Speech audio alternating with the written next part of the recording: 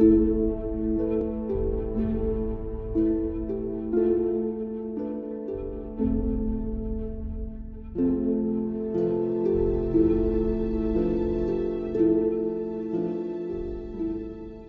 moet het nog eens even hebben over die drie begrippen die vaak voorkomen bij, laat ik het zo zeggen, mensen een beetje theologen, priesters, een beetje op, op mijn golflengte, dat wil zeggen, beetje traditioneel, conservatief. Dat wil zeggen, het gaat ergens over, het geloof. Het is geen mooi gevoel, het geloof. Het is ook niet altijd even gezellig, het geloof. Nee, het geloof is een geopenbaarde waarheid. Een geopenbaarde waarheid die niet altijd bij mij welkom is. Dus zelfs al staat de kerkdeur wijd open, wees welkom. Met grote letters erboven, wees welkom. Uh, ik weet niet of alles wat daar in de kerk uh, geleerd wordt over het geloof, of dat uh, voor ons wel altijd even welkom is. Geloof is ook vaak confronterend. Maar goed, voor alle, bij, bij de mensen die, eh, zowel priesters als theologen, misschien ook gelovigen, die, die eh, het geloof willen doorgeven, worden vaak die termen mooi, goed en waar gebruikt. Dus, dus, dus het, het ware, het goede en het mooie, dat brengt ons dichter bij God. En dan uh, past, past, het een beetje bij de pastorale aanpak of je begint met het ware en het goede en dan naar het mooie. Of dat is dan wel een beetje de softe aanpak bij de pastoraal. Je begint bij het mooie en dan ga je naar het goede. En dan, ja goed, ook de scherpe kantjes moeten toch ook een beetje behandeld worden. De moeilijke dingen. Dan komen we bij de derde term, het ware. Dus binnen het kamp waar het geloof ergens over gaat, hoor je vaak die termen goed, mooi en waar. En toch moeten we daar eens even op ingaan. Want die drie termen, die zijn wel heel erg verschillend. En ze zijn ook onvolledig. Het ware is misschien het meest eenvoudige. Iets is waar, een uitspraak, als het klopt met de realiteit. Iets dat geschreven is of iets wat ik bedenk. Dat is waar als het, als het waar is, als het overeenkomst met de realiteit of als ik uitspraken van iemand herhaal en die uitspraken kloppen, dan, uh, dan is, is ook mijn uitspraak waar. Dus waarheid is een hele eenvoudige overeenkomst tussen wat ik zeg, wat ik denk, wat ik schrijf en de realiteit. Het goede is best wel lastig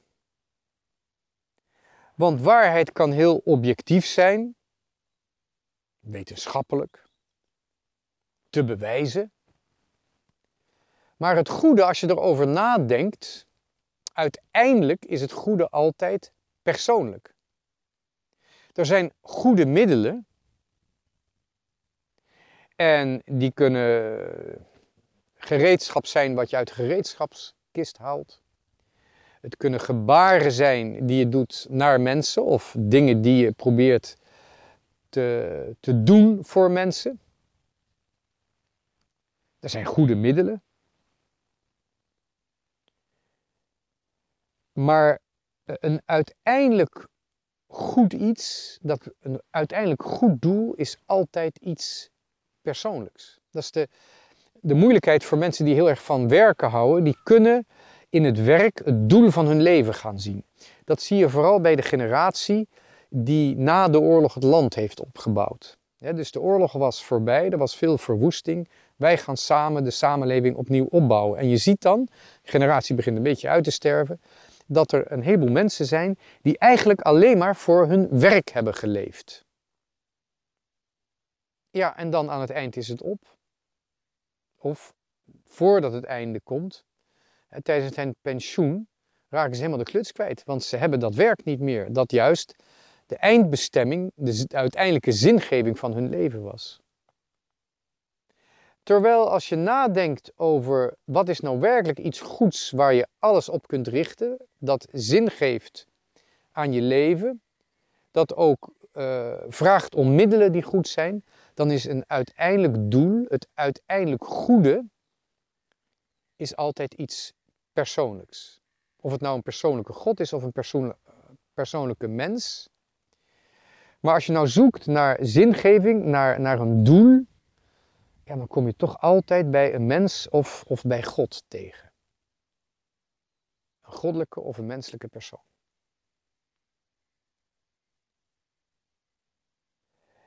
Ja, en dan tegelijkertijd tenslotte ook het mooie. Brengt het mooie me werkelijk bij God? We hebben gezien dat een waarheid kan zowel persoonlijk zijn, een persoonlijke waarde hebben. Bijvoorbeeld als ik trouw ben. Als ik trouw ben, dan wordt mijn ja-woord, dat wordt als het ware voor mij een bron waarmee ik een persoonlijke waarheid aan mijn leven ga geven dus ik heb objectieve waarheden, wetenschappelijke waarheden, waarheden die niet anders kunnen zijn dan dat ze zijn. De noodzakelijke waarheden. En er zijn ook, dus noodzakelijke objectieve waarheden, maar er zijn ook persoonlijke waarheden, namelijk door mijn handelen, als ik in waarheid leef, als ik trouw ben, dan bestaat er ook een persoonlijke waarheid.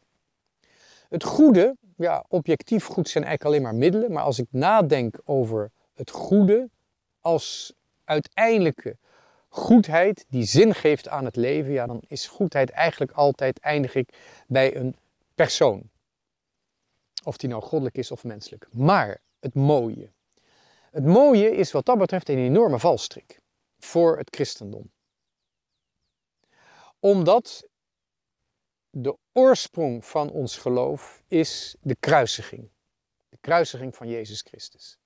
Daar is niets moois aan. En ook in ons eigen leven, als we altijd achterna lopen wat mooi is, of wat leuk is, of wat ons een plezier doet, of waar we zin in hebben, dan komt er helemaal niks terecht. We blijven cirkeltjes draaien binnen ons eigen menselijke wereldje en we overstijgen nooit de beperkingen van dat kleine menselijke wereldje.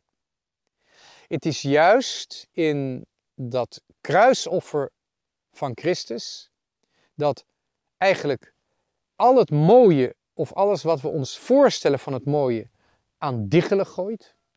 Juist daar vinden we het moment dat God tot ons spreekt. Sterker nog, dat God zich aan ons geeft. Dus het mooie kunnen we niet op dezelfde hoogte zien als het goede of het ware. De waarheid aan het kruis is de waarheid van de zonde. Wij denken altijd door de zonde iets nieuws te ontdekken, een nieuwe kennis te krijgen, maar helaas, we krijgen alleen maar een gebrek aan kennis, zonde verblindt ons. De liefde is de zonde ook niet goed voor. De enige waarheid van de zonde, dat zijn de consequenties. Dus Christus aan het kruis is de waarheid over de zonde. Christus draagt de consequentie van de zonden, onze zonde, op het kruis. De enige waarheid over de zonde die de moeite waard is om te kennen, is Christus die de gevolgen van de zonde ondergaat, die voor ons leidt. Andere kennis zullen we nooit krijgen door de zonde. Het is een illusie dat je meer weet, slimmer wordt, meer ervaring hebt door de zonde. De enige ervaring, echte, ware, waarachtige, authentieke, om maar eens even een modewoord te gebruiken, authentieke, nieuwe ervaring in de zonde, dat is de gevolgen van de zonde die Jezus Christus heeft ondergaan en gedragen op het kruis. Dus het mooie brengt mij in eerste instantie helemaal niet dichter bij God. Je kunt wel zeggen van kerk is mooi, gotiek is mooi. Ik hou van barok of ik hou niet van barok, wat voor mij het geval is.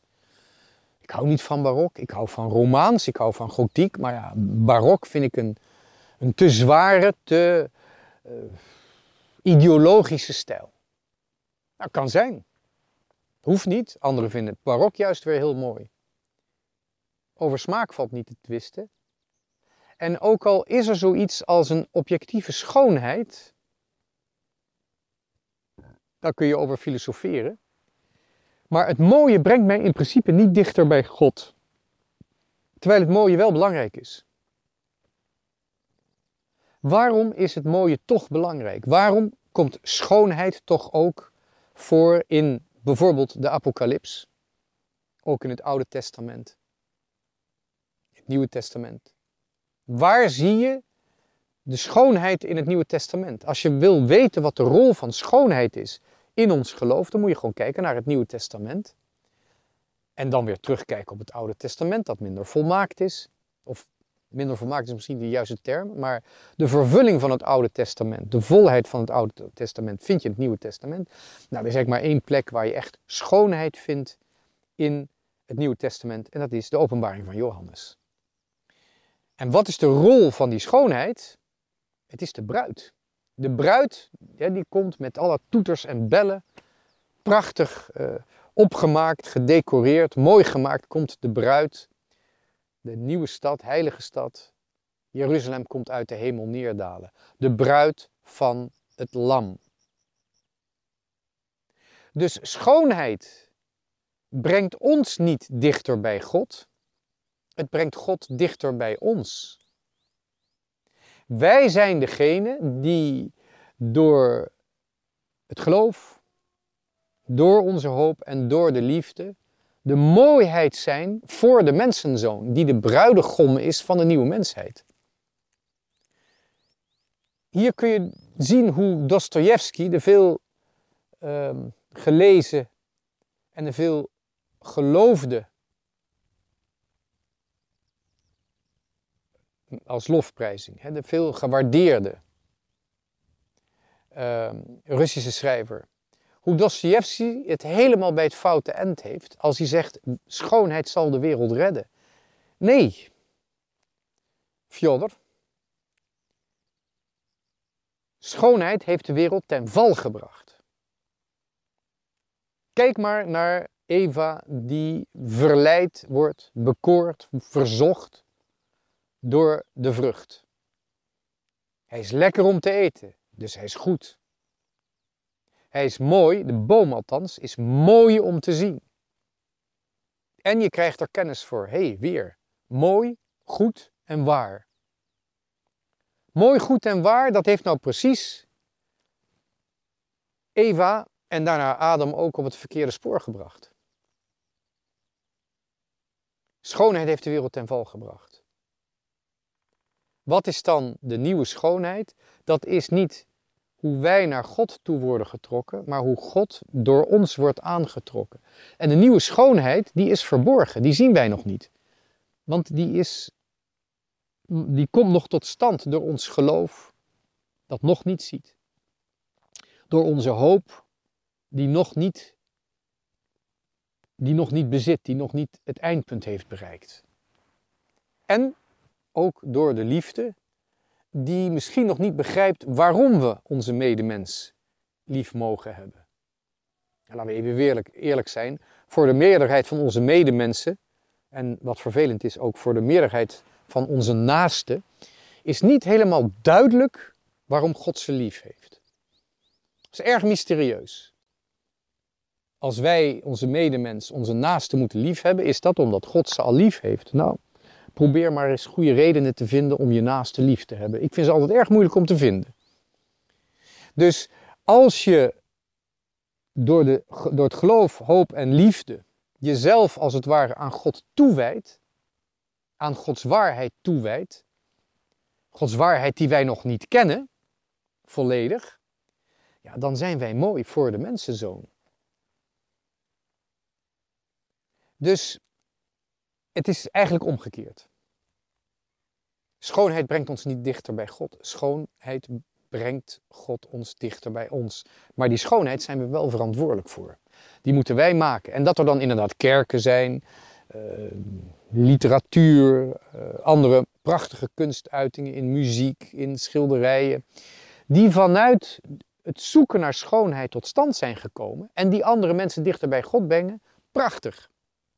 Hartstikke mooi. Maar er is altijd één stap in onze geloofsgroei dat we het mooie, de schoonheid achter ons moeten laten. En dat we een waarheid moeten aanvaarden die niet prettig is. Dat we ons moeten laten aantrekken door een goedheid die niet van ons komt. En die zelfs niet van andere mensen komt, maar die van God komt. De goedheid van God overstijgt ons. Vandaar ook dat alleen de goedheid van God uh, mensenoffers waard is en dan in feite maar één mensenoffer, dat van Christus. Alleen in de goedheid van God vinden wij redenen, goede redenen, om ons leven te riskeren. Maar God blijft altijd totaal anders. En juist als wij aanvaarden dat God totaal anders is en we hem ook daadwerkelijk niet alleen in gedachten, niet alleen in woorden, maar ook in gebaren aanbidden door ons te vernederen voor God. Als wij echt met ons lichaam, met lijf en leden uitdrukken wat er in onze ziel gebeurt als wij de Almachtige God erkennen, als wij aanbidden, ja, dan kunnen we ook door geloof, hoop en liefde langzamerhand een eenheid met God bereiken, die ook weer vruchtbaar is. Dus het totale anders zijn van God, de intieme eenheid die mogelijk is met God, maar ook de vruchtbaarheid die wij met God mogen dragen in ons geestelijk leven, ook in ons biologisch leven als man en vrouw. Die vruchtbaarheid, die kunnen, dus die, die, die eenheid, die intimiteit met God, de vruchtbaarheid en de verantwoordelijkheid die wij dragen met God. En toch het totaal overstijgende karakter van God, ik ben de zijnde, die worden niet voldoende uitgedrukt door die termen waar, goed en mooi. Die moeten we er echt bij gebruiken. Anders blijven we in rondjes draaien in alles wat goed, mooi en waar is. Maar voor onze eigen groei in het geloof hebben we toch vooral ook het anders zijn van God. De belofte van de intimiteit met Hem, die hebben wij nodig. Ook het besef dat wij medeverantwoordelijkheid dragen voor het heil van andere mensen. Waardoor de mensheid ook mooier wordt, ook aantrekkelijker wordt voor God. Ja, en dan als laatste ter afsluiting, alles is omdat wij ons voorbereiden op het directe zien van God zoals Hij is. Dat wil zeggen, God is die Hij is in eeuwigheid, de goddelijke essentie die wij na dit leven, dat is de uiteindelijke belofte van God, zullen zien. Wij zullen het licht van Gods heerlijkheid ontvangen. Wij zullen het wezen, de essentie van God in het diepste van ons, ons, onze, onze ziel, ons hart, verstand, zullen we ontvangen om in eeuwig gelijkvormig te zijn aan God.